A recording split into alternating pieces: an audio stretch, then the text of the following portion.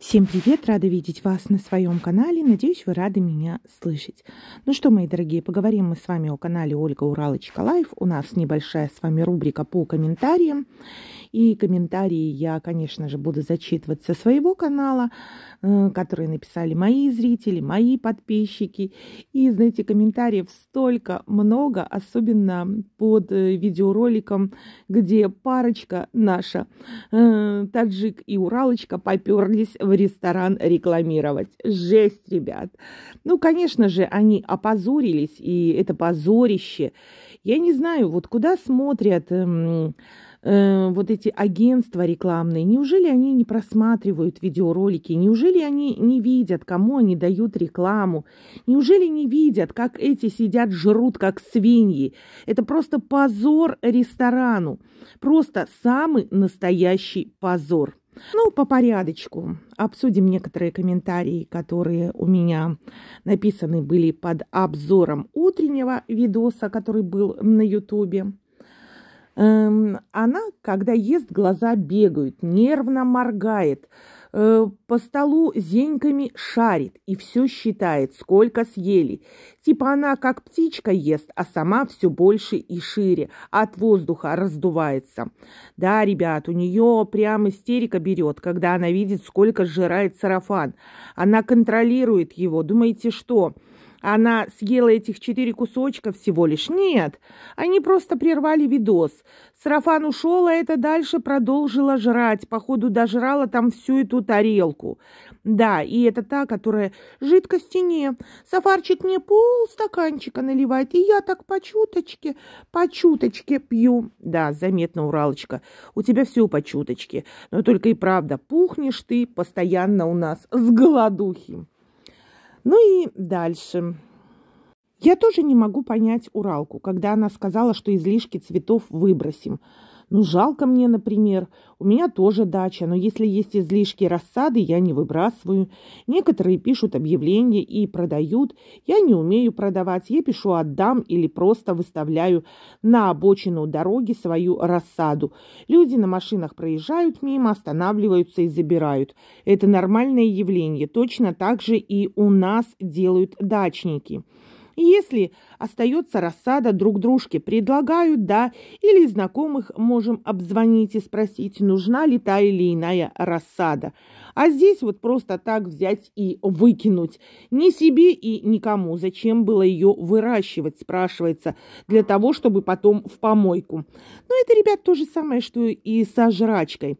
Наготовить, набодяжит, а потом сама говорит собачкам. Хотя никаким собачкам они ничего не отдают. В помойку выбросили и будь здоров. Ну и дальше. Я, Оля, даже не говорю про халат, в котором она приперлась в кафе. Знаток ресторана заявила, в салате «Цезарь» должна быть пекинская капуста.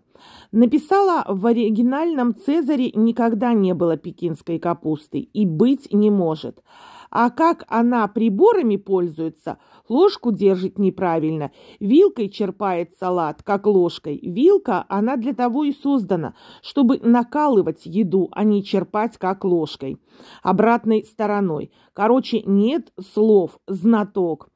Вот знаете, то, что она не умеет пользоваться вилкой, так она, похоже, просто вилку начала брать, когда видосы они начали клепать. А до этого, конечно же, нафиг ей вилка нужна была. Ложкой все толкала в рот, ложкой, ложкой черпала, ложкой ела, туда больше влезет. Я же говорила, что рот у нее огроменный. И вот у нее удобные, конечно же, ложкой. Она даже когда вилкой, ребят, ест, посмотрите, как она рот открывает. Она уже прям готовит рот для ложки. Уже просто автоматически. Ну и ответы. И все же она приличнее Сафара ела. Он чавкал, пил суп через край тарелки, положил локти на стол и еду друг у друга хватал. Это жесть. Он вообще гадость как ест. Что дома, что на людях. Чавкает очень неприятный. Я, бывает, не досматриваю их. На самом деле, да, Уралка, можно сказать, да, поприличнее вела, чем сарафан. Тот вообще, я говорю, чувак без тормозов, да, ему пофигу, где он находится. Он ведет себя всегда как в свинарнике. Ну, потому что кто его воспитывал, где его этикету учили? Уралку тоже, собственно, никто этикету не учил. И она хоть что-то пытается, хоть как-то старается не опозориться. Но вот это вот все равно. На попробуй, на откуси, даю тебя попробую. Это у нее не отнять. Это из-за жадности. Это из-за того, что ей охота все и сразу. Ну, а сарафан, он не может себя поменять из-за голода. Потому что он, когда, похоже, видит жрачку, он набрасывается и уже не может себя просто контролировать. Ну и дальше. В новом мукбанке э, чуть не вырвала хачапури у Сафара. Камеру друг на друга переставляли, никто не хотел в кадре быть. Сарафан просто не хотел сидеть рядом с Уралкой, когда они ели, чтобы, ну, скажем так, эм, э, сидеть и касаться ее потную, да. Он хотел свободно сидеть и свободно есть, поэтому у них получилось фиг чего.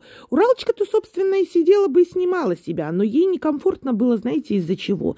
Из-за того, что ей хотелось жрать, как она обычно жрет, да, а не так культурненько стараться, мкать, окать, стонать. Ей хотелось, как она обычно жрет, так и жрать. Ну, а Сарафан и не собирался стараться вести себя культурно. Жрал, как умеет и, как всегда, делает по-свински, как хряк. Фу! Ну и дальше. А вам не стыдно так писать? Откуда, с какого аула унижаете? Не ее, а себя. Еще женщины, бомжи так не разговаривают. Ой, а кто же это пишет? И прям мои подписчики вместо меня, конечно же, ответили. Нет, не стыдно. И не Саула, а с кишлака. Он кишлачный, она уральская девчонка. Ты, тетка, уралки пиши. Что так, как она, бомжи даже не разговаривают. Специалист по разговорам бомжей пришел. Здесь пишем, что хотим. Вы не туда зашли. Что она заслуживает, то и пишем. Она очень хитрая и наглая. Вот это и судим. Я была подписана и писала в ее защиту. Потом меня блоканули. Дай бог им здоровья. Вот и весь сказ. Просто не надо звездиться, это плохо закончится. Таджик должен жить в своем ауле. А если здесь пристроился на халяву, будь добр, веди себя как положено. Золотые слова. Ну, а здесь я понимаю, что либо очередной Савка строчит, либо прихлебатели забежали. Тут уже разве разберешь? Да, кстати, ребят, вы знаете, что я заметила? Почта-то у меня уже чистая, уже нет никаких угроз, мне никто не строчит, порнографию мне никто не отправляет. А что так? Все резко испугались. Наступил момент какой преломный. Страшно, чтобы на родину не отправили. Вот сидят, слушайте, под юбками. Да, уралок, что один, что второй. И боятся даже пошевелиться. Вот дела. Ну и дальше классный комментарий. Ходит Уралка, точнее, сидит на качелях по пятам за сафаром, потому что надо снимать контент. А так как сегодня ей хрючево не готовить, то съемка показательная на улице. А так бы снимала себя любимую. Сегодня главный в ролике горе-работник, а помещица снимает. А куда деваться-то им? Деньги, деньги, деньги. Действительно, деньги, деньги. И жрачку снимать надо, и мукбанки снимать надо. Все на свете надо снимать, чтобы на два канала все клепать, побольше денег заработать. Ну и дальше. Жрачно-перерабатывающий тандем вызывает оторопь и отвращение. Вся жизнь на кишку положена. Это еще помимо поглощения еды ее нужно переварить. Они с унитаза не слазят, простите. Они после себя оставляют в этой жизни только дерьмо. Жизнь впустую. Золотые слова. Ведь действительно после себя оставляют только дерьмо. Ничего в жизни, кроме жратвы, не интересует. Абсолютно ничего. Но, вы знаете, сарафана интересует, он идет к цели. У него своя цель, да, как можно больше бабку облапошить, как можно больше вытянуть денег, да, как можно больше заработать на кишке бабкиной деньги. А вот Уралка, она действительно после себя что оставляет? Только дерьмо. Да и еще, знаете, она же все же гниет. Еще и гниль оставляет. Мало того, что у нее вечно гнилые речи, да, так еще и ноги, ребят. Я в ужасе. Она не понимает, абсолютно не понимает. До чего она уже докатилась. Ну и дальше. Того и гляди, стол тоже сожрут. Знаете, ребят, я вот как смотрю на них, бедные несчастные, вечно голодные. Вот просто страшно глянуть. Ну и дальше, ребят, перейду на обзор из ресторана. Угу. И мы с вами обсудим некоторые комментарии, которые написали мои зрители. То есть вы написали под моим обзором. Почему-то в харчевне с узбекской кухни их больше не кормят. Видимо, надоели со своей рекламой. Но там, похоже, они уже и не нуждаются в рекламе. Эти прорекламировали. Может быть, кто-то там еще прорекламировал. Ну, а может, и реклама не нужна. Может быть, переполнено кафе уже. И у них постоянно есть клиенты. Нафига им Уралочка, нафига им Сафар и нафига им Э, бесплатно кормить э, какую-то прожорливую парочку, когда уже хватает у них своих клиентов, и нафига они вообще им нужны, эти рекламщики. Дальше говорит, зеленый напиток хуже, чем у ужралки. Вот это рекламщики, да, ребят, да, это просто жесть. Сейчас мычало, потом хаять будут, а на халяву пошли за рекламу. Харчо какое-то черного цвета, а она что-то как сопли тянущиеся ела, и друг к другу из тарелки все лазили. Ну, тянущийся это был сыр, он тянулся, и вот это вот э, их эм, поведение с этим сыром, как они тянули, руками трогали, наматывали. Ребят, ну доблевоты, ну честное слово, доблевоты. И вести себя в так в ресторане, ну кем это надо быть? Ну я уже, в принципе, говорила, свиньи, они в Африке свиньи. Ну и дальше. Ларисе Ивановне сделали антирекламу. Ну да, ребят, самая настоящая антиреклама. Не знаю, это так взять, опозорить ресторан, а ресторан довольно-таки неплохой. Я и на сайте посмотрела, и э, в группе в Инстаграме посмотрела. Неплохой ресторанчик довольно-таки. И вот это пригласить таких блогеров, чтобы вот так вот они опозорили ресторан, я не знаю. Дальше. Никогда не показывают, как они расплачиваются. Сразу понятно, что реклама. Да, не показывают чек, не показывают, что сколько стоит, и не показывают итоговую сумму, сколько, допустим, они отдали в ресторане. Понимаете, это уже сразу понятно, что пожрали они на халяву. Э, дальше. Сарафан захотел Ларису Ивановну. А что, Ольга Васильевна надоела? Она же Марьям Азизова, она же Качура, она же Уралка. Ну, видать, да, видать, Уралка уже надоела. И неспроста она за ним следит, да. Следит просто за каждым шагом, боится, как бы не сбежал к Ларисе Ивановне. Ну и дальше. Да уж, на даче все отстойное, в квартире кошмар светофоры, эконом-маркеты, зато обеды в Екатеринбурге в ресторане. Ну, Уралочка же сказала, да, что, ну, сейчас эм, многие скажут, что вот якобы ходите типа по ресторанам, да, но многие ходят, да, Уралочка, многие ходят. Многие ходят, но многие тоже имеют совсем не то, что имеете вы. Да, хотя ваши хомяки постоянно забегают и постоянно пишут. У вас завесть. Вы заведуете. Заведуете Уралке. Заведуете, что у нее есть квартира, что у нее есть дача и таджик, да, который с грядки на грядку скачет и больше ничего не умеет делать, у которого прицеп, дети, жена, мама, папа и куча там братьев и сестер. Да, очень заведуем. Заведуем еще как заведуем. Ну, потому что у нас есть трехкомнатные квартиры, машины, и у нас свои личные дети, и у мужей прицепов никаких нет. Да, поэтому мы, наверное, заведуем. Хотим именно такой жизни, как у Уралки. Вот, ребят, не поймешь ни хомяков, ни этих великих блогеров.